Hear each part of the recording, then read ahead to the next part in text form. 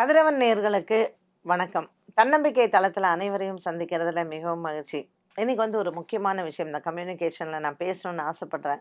ஏன்னா நிறைய பேருக்கு இந்த அனுபவம் இருக்கும். ஒரு காதலில் வந்து எப்படி வந்து கம்யூனிகேட் பண்ணணும்? இப்போது லவர்ஸ் இருக்காங்க.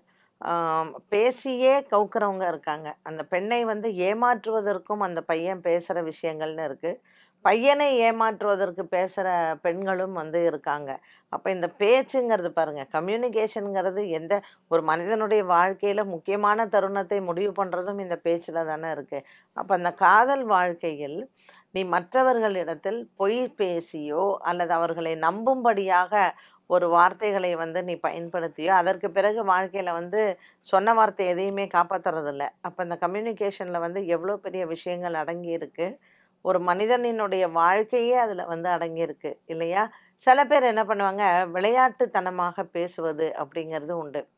ரொம்ப சீரியஸாலாம் எடுத்துக்க மாட்டாங்க லைஃப்பை அவங்களுக்கும் லவ் லைஃப்பில் நல்ல மனிதர்களாக இருப்பாங்க. ஆனால் காதலை ஒழுங்காக அதை வெளிப்படுத்த தெரியாமல் சரி இவன் எப்போவுமே இப்படி தான் இருப்பான் போல இருக்கு. இவன் நான் நம்பி எப்படி நான் போகிறது அப்படின்னு சொல்லிட்டு நல்ல மனிதர்களை இழந்த பெண்களும் உண்டு. நல்ல பெண்களை இழந்த மனிதர்களும் உண்டு. அதனால் இந்த கம்யூனிகேஷனில் லவ் லைஃப்பில் இது ரொம்ப ரொம்ப இம்பார்ட்டண்ட்டான ஒன்று.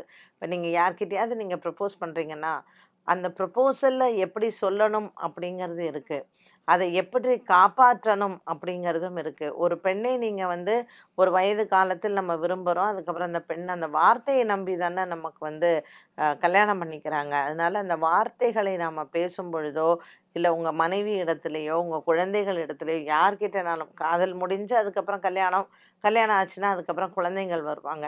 நிறைய குழந்தைகள் வந்து பெற்றோர்கள் வந்து அந்த ஒரு நம்பிக்கையை கொடுக்காத வார்த்தைகள் ஒரு மனிதனுக்கு தன்னம்பிக்கை கொடுப்பதே வார்த்தைகள் தானே. உனக்கு ஒன்றும் இல்லை போ அப்படின்னு ஒரு டாக்டர் சொல்லிட்டாங்கன்னா அது எவ்வளோ பெரிய ஒரு தன்னம்பிக்கை.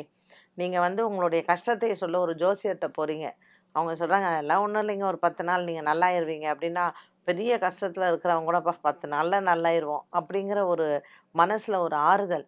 அப்போ இந்த வார்த்தைகள் அப்படிங்கிறது மற்றவர்கள் மனதிற்கு ஒரு மருந்தாக இருப்பது.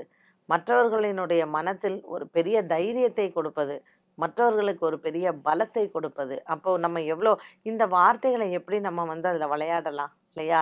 நம்ம சொன்ன ஒரு விஷயம் நம்ம சொன்ன வார்த்தையை வச்சு தான் அந்த பொண்ணு என்னை நம்பி கல்யாணம் பண்ணிக்கிட்டா. இன்றைக்கி நம்ம ஏமாத்துறமே அப்படிங்கிற ஒரு குற்ற உணர்வு இருக்கணும் இல்லையா? அதனால் விளையாட்டுத்தனமாக ஒரு மனிதனினுடைய வாழ்க்கையில் வந்து நம்ம சொல்லக்கூடிய வார்த்தைகளை பயன்படுத்தவே கூடாது. நம்ம சொல்லக்கூடிய வார்த்தைகள் நமக்கு பிரயோஜனமாக இருக்கணும் மற்றவர்களுக்கும் பிரயோஜனமாக இருக்கணும் அதற்கு பிறகு நம்மளுடைய சமுதாயத்திற்கு பிரயோஜனமாக இருக்கணும்.